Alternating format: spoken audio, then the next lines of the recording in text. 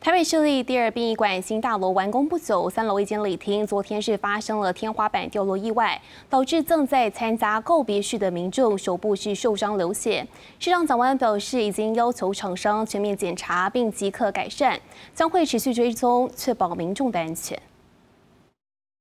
抬头看，天花板缺了一大块。台北市立第二殡仪馆新大楼三楼礼厅八日发生天花板掉落意外，砸伤正在参加告别式的民众，导致手部擦伤流血。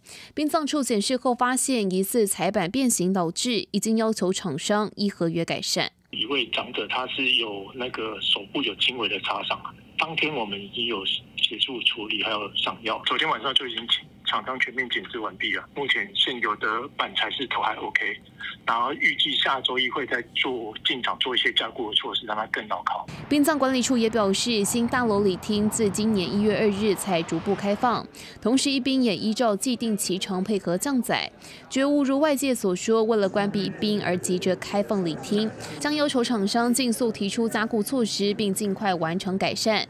议员则批评二宾沦为豆腐渣工程，验收过程。恐有瑕疵。二兵是豆腐渣工程吗？根据殡葬处的说法，也表示说这个礼厅啊也有拿到了执照。那么民众会质疑，在验收的过程当中是否出现瑕疵呢？殡葬处跟我回报，到昨天晚间七点半左右就已经完成呃新馆的各项全面的检查。那我们持续追踪，好确保安全。不过，二兵除了天花板事件，也出现停车场动线及交通问题。还被议员发现地下停车场高度与规划设计不同，导致殡葬业者车辆难进入。对此，蒋万安回应，上任后全面检视过二兵二期工程，并实地到现场看过很多次，会持续跟相关局处讨论优化二兵，让民众使用更顺畅。记者黄曼陈博玉台报道。